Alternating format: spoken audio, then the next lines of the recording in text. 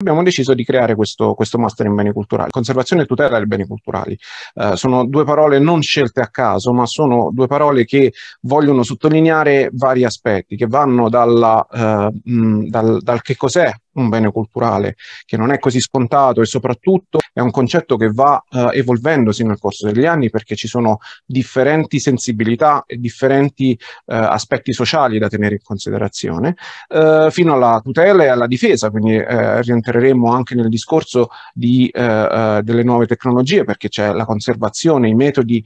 che si applicano per tutelare e conservare, ma anche per difendere. E anche qui ci sarà una piccola parte, sezione dedicata diciamo alla legislazione eh, dei beni culturali e al modo in cui si possono oh, gestire. Ma non mancherà appunto anche altri aspetti come appunto quello gestionale, quindi di eh, eh management, il cosiddetto management, di mm, eh, sostenibilità dei beni culturali, soprattutto per quanto riguarda l'aspetto del um, rimpatriare beni culturali e beni archeologici eh, che si trovano eh, all'estero, che sono stati trafugati più o meno illecitamente. Anche questo aspetto verrà molto dibattuto ed è un tema molto molto eh, caldo e molto, oh, molto moderno che verrà affrontato sotto vari punti di vista. Uh, come anche per il master di archeologia e antropologia forense, anche qui ci sarà uh, una ventata, diciamo, di uh, esterofilia, non perché,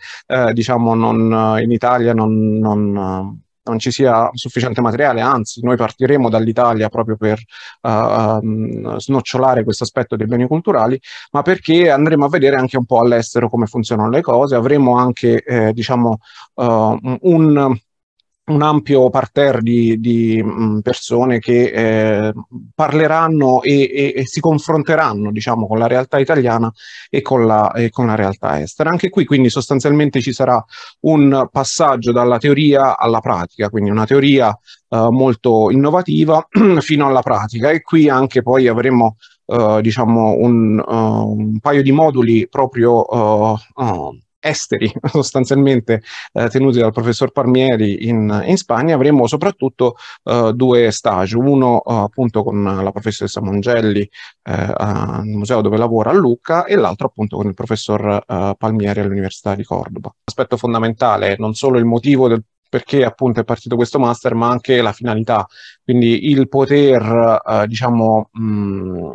creare dei professionisti ben preparati eh, che possono eh, lavorare eh, fondamentalmente ovunque, a cominciare dal uh, Ministero della Cultura italiano che diciamo oh, ultimamente sta uh, sfornando diciamo, una serie di bandi uno dietro l'altro e diciamo questo tipo di master è esattamente designato proprio per poter applicare a, questa, um, a, questi bandi, ma non solo, si può, si può anche applicare in altri ministeri italiani come il Ministero degli Affari Esteri esteri, eh, che eh, prevede cooperazione internazionali di diplomazia culturale eh, attraverso enti come l'ICROM, come eh, l'EUNIC, che è l'UNESCO stesso, o, l'ICOMONOS, la professoressa Mangelli eh, che si occuperà appunto dell'aspetto della museologia della museografia, quindi anche chi ambisce a diventare eh, direttore di museo o comunque lavorare all'interno di contesti museali come privato, uh, come manager privato, come uh, diciamo uh, pubblico, comunque all'interno di questi, di questi contesti. Oppure anche come consulente eh, per enti pubblici e privati preposti alla gestione e alla valorizza valorizzazione del patrimonio culturale. Sappiamo che ultimamente questo, questa figura è richiesta molto non solo in Italia ma anche all'estero. E ovviamente anche eh, toccheremo la, la, parte del marketing e quindi potrà anche diciamo diciamo, essere speso questo, questo titolo come, come esperto in marketing e comunicazione per i beni culturali.